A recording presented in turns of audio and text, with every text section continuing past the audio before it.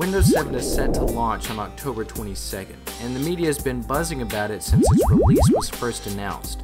But what if you're one of those tried and true XP users that was so scared by the release of Vista that nothing can tear you away from your trusty XP machine? Well now you can have all the comforts of Windows 7 without switching to it. Here's how you can make Windows XP look and act like Windows 7. But first a little disclaimer.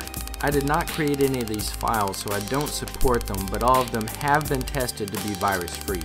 Keep in mind that installing extra programs on your computer has the potential of slowing down your computer. So please set a system restore point before installing any of these programs so that you can restore your computer if necessary. To try and make this process easier, I've grouped all the programs that we'll be covering into one 15 megabyte download that you can find at this link. Once you have it downloaded and extracted, you will notice seven folders that each represent a different step.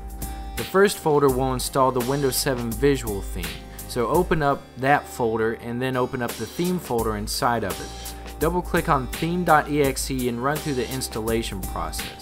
When the theme is installed, you'll notice that your taskbar and the background will have changed.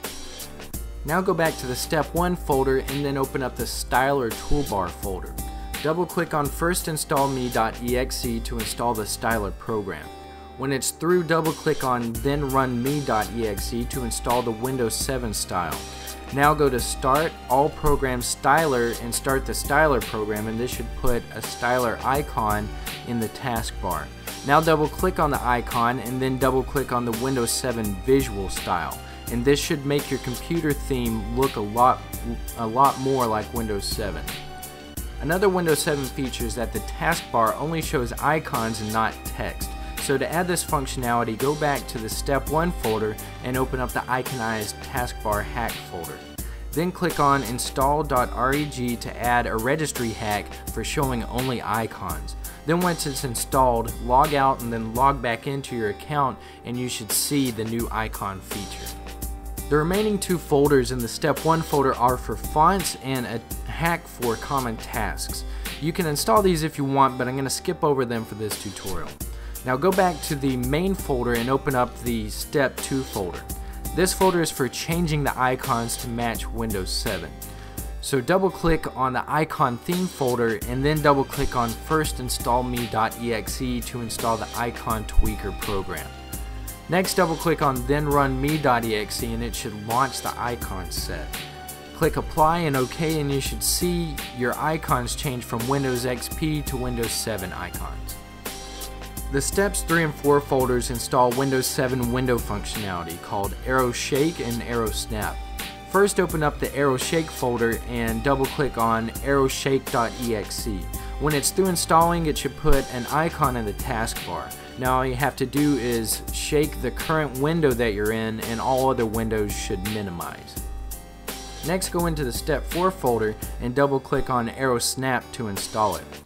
Once it's through installing, you can go ahead and launch it and now you should be able to drag your window to either the left or the right side of the screen and it will snap to that side of the screen. You can also drag it to the top of the screen and it will maximize the window. The Step 5 folder installs a program that mimics the way Windows 7 allows you to drag and drop items in the taskbar to reorder them. Just double click on TS 2.5 to install it and after you've got it installed and launched you should be able to drag and drop uh, the taskbar icons to different locations. In the Step 6 folder you'll find an application that changes the Windows XP hard drive icon so that they have a percentage bar that shows how full they are. Just double click on Vista Drive icon 1.4 to install it. Then launch the program and open your My Computer icon and you should now see a percentage bar underneath your hard drive. The last step adds the Windows 7 Show Desktop feature to the taskbar. Double click on showdesktop.exe to install it and it should add a button to the far right of your taskbar that acts as the Show Desktop button. And when you click it, it should minimize everything to the taskbar. Now what I've just covered shows some of the more basic ways to convert Windows XP to look more like Windows 7. But if you visit the link that I provided in the video description, you'll find a lot more customization options that require a little bit more computer know-how. If you have any more tips, feel free to leave them in the comments below. Otherwise, that's it for this tutorial, and for more, go to tinkernut.com.